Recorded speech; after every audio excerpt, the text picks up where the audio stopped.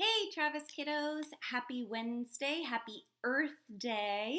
Um, I hope you are getting a chance to celebrate and protect and heal our wonderful planet. Um, and if you had a chance to check out the Scholastic News article yesterday or even today, um, Recycle That Gum, it shows a great way to take something and instead of just throwing it away, turn it into something else. Um, so recycling gum into other things. It's pretty cool. And also, even better, she uses molds. Um, the scientist who melts down the gum and makes things out of it. Um, she uses molds to create them, and we also talked about using molds to create other things in our reading this week in The Joy of a Ship, how they melt the steel to um, into molds, let it cool and harden so that they can use those pieces to build the ship. So cool that we have a little bit of crossover there. Um, and again, I hope you're enjoying celebrating Earth Day. Um, let's talk about some math. So yesterday in the math workbook, this is enrichment work. Um, the essentials are the textbook online through Think Central, but the enrichment work um, in here yesterday, we were talking about greater than, less than with um, tens and ones, and some of those ones were more than nine, so over 10 ones. And I want to review that with you guys um, for which one, how that works, and um, and using some good number sense to work on place value um, and kind of composing and decomposing these numbers as well. So if I had the number, let's go with the number 34 to start, okay? So 34, we could say that is three tens and four ones. I'm gonna write it and draw a picture so that I can show you. I can't really hold up my base 10 blocks. Um, I don't have enough hands for that. So instead of using the pieces, I'm gonna um, draw it on here for you. Okay, so three tens, four ones, or I can draw it like this. So three sticks, those are my tens, remember? And four dots or four ones okay? Now I could write this another way.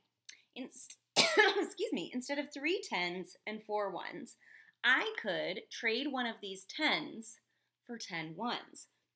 So if I have two tens and trade one of the tens for ten ones, one, two, three, four, five, six, seven, eight, nine, ten, and then my four ones, one, two, three, four. Now I have two tens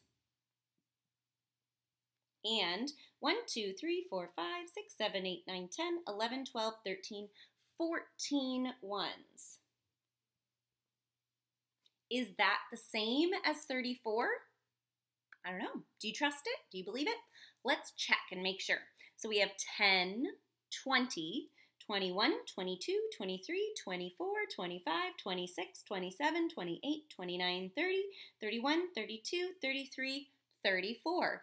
It's still 34, but it's just shown in a different way. So we're trading one of the tens for 10 ones. So instead of three tens for ones, it's two tens, 14 ones. What if we wanted to go down another 10? So what if we wanted only one 10? How many ones would we have now? So let's draw it. One 10, and now I need to trade one of the other 10s for 10 ones again. It's an equal trade because 10 ones is the same as 110, right? Um, so 10, now I need the other 10 ones here like I had last time. Or it's like I traded two tens for 10, 20 ones, right? Or two sets of 10 ones. and now I show my four ones, okay? So I have 110 and how many ones? 1, 2, 3, 4, 5, 6, 7, 8, 9, 10, 11, 12, 13, 14, 15, 16, 17, 18, 19, 20, 21, 22, 23, 24 ones.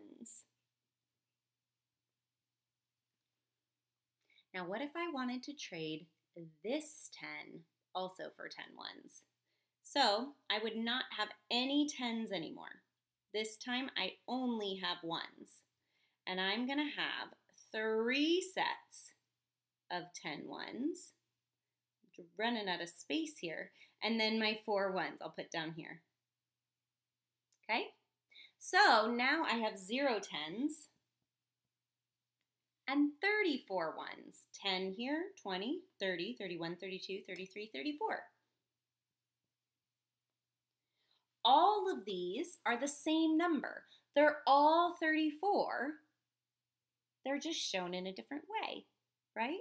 So when we're making a, um, a place value chart, we usually say you can't have more than nine ones in the ones place, but we can show this number in a lot of different ways, okay? This is super helpful for when we are subtracting with regrouping, right? Because if I was doing 34 minus 8, I can't take away eight ones from 4. But if I change 3 tens, 4 ones into 2 tens, 14 ones, all of a sudden have enough ones to take away eight. So learning um, how these numbers correspond to each other is really important and very, very helpful for those higher math skills, okay, like subtraction with regrouping. Let's try one more, um, and then I will show you the workbook pages for today. So I'm going to go a little bit bigger, so I might not draw all of the ones and get all the way down, um, but you are welcome to do that on your own. So let's do a really big one. Let's do 82. Okay, so 82 is 8 tens, because if I split this up, it's 80 and 2, right? 8 tens, 2 ones. Like this, 1, 2, 3, 4, 5, 6, 7, 8, tens, 2 ones. Now, what if I do 7 tens? how many ones? So seven tens, one, two, three, four, five, six, seven, eight. I'm even just gonna do it on here. Trade a 10 for 10 ones. One, two, three, four, five, six, seven, eight, nine, 10. I know this is a little smaller this time, but so we have seven tens, 10, 11, 12 ones. Now you might also notice a pattern as I go here. What about six tens? So if I trade another 10, I don't know if I can squeeze that in there. I'm going to put it on the other side because I don't think I can fit it there. 1, 2, 3, 4, 5, 6, 7, 8, 9, 10. Okay, so now I have six 10s, 10, 20, 21, 22. 22 ones. Okay, so here you notice it's 2, 12, 22. We're just trading over one of the 10s into 10 ones. So that we're adding a 10 each time to the ones. Okay, so you can keep going with this. Five tens would be, so just trade that 10 for 10 ones. So instead of 22, we have 32 ones. Okay, four tens, 42 ones. You can go all the way down. So you can figure out the rest if you had three tens, two tens, one ten, or zero tens okay? Um, you can also build this, as always, using cubes, using blocks, using any old thing you have in your house to represent tens and ones. Um, you can practice by building those as well. Really um, helpful to have those physical objects, those manipulatives, to show exactly what's going on there, okay? And when you use those, make sure you're trading a 10 or a stick for 10 ones. No more, no less, has to be an equal trade. Same thing if you're drawing it. It has to be an equal trade, okay? So that might help you if you struggled a little bit or you wanna go back and check your work here, you can try that there because now we know instead of 6 tens, 15 ones, let's flip it back. So 6 tens, 15 ones, I'm going to trade those 10 ones back into a 10. So that would be 7 tens, and five ones, so 75. And 75, 7 tens, 5 ones, hey look, that's the same. That would be equal, okay?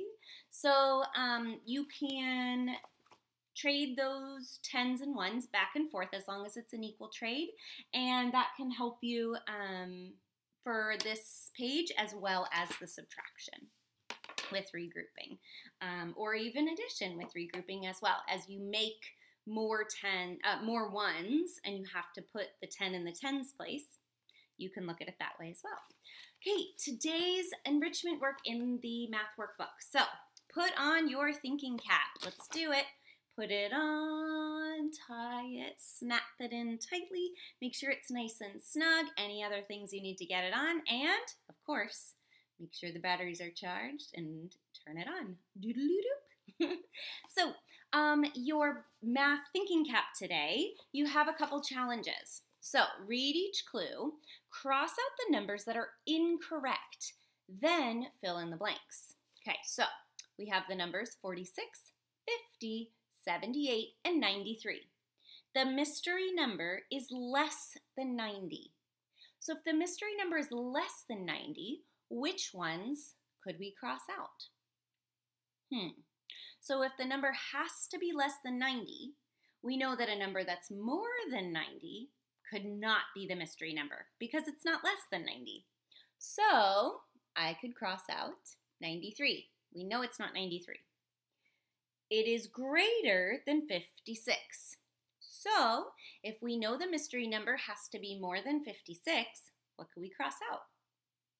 we can cross out the numbers that are less than 56. So you can figure out what the mystery number is. Go ahead and finish that.